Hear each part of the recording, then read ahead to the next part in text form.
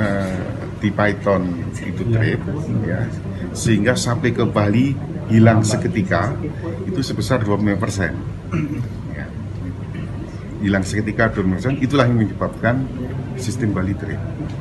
BO BO nah, penyebabnya masih menjadi uh, penelitian kami investigasi nanti kami sampaikan secara Pak, apakah pemulihan ini akan bisa terjadi 100% dalam waktu satu hari atau masih akan seperti apa Pak? saya yakin bisa 100% hari ini ya.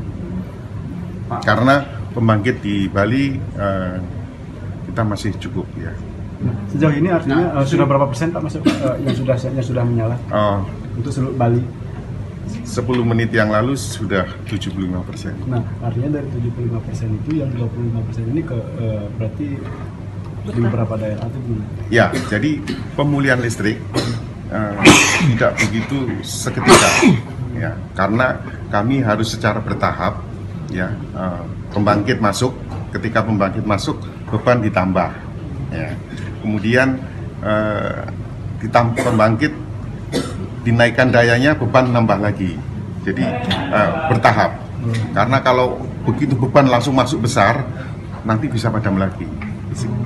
Jadi kami memasukkannya secara eh, bertahap. Pak tadi awal mati tepatnya pukul berapa? 12.30-an ya? Ya, sekitar 12. Tadi hampir 2 jam, 2, jam sekian untuk pemulihan 75% tadi itu. Iya, iya.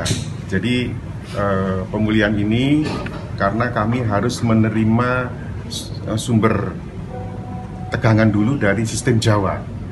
Ya, karena PLTU itu ya celukan bawang itu tidak bisa eh, dibangkitkan kalau dia tidak mendapat Pemantik. supply tegangan dari eh, sistem yang ada.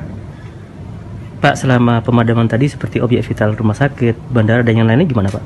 Ya, itulah yang menjadi prioritas kami. Hmm.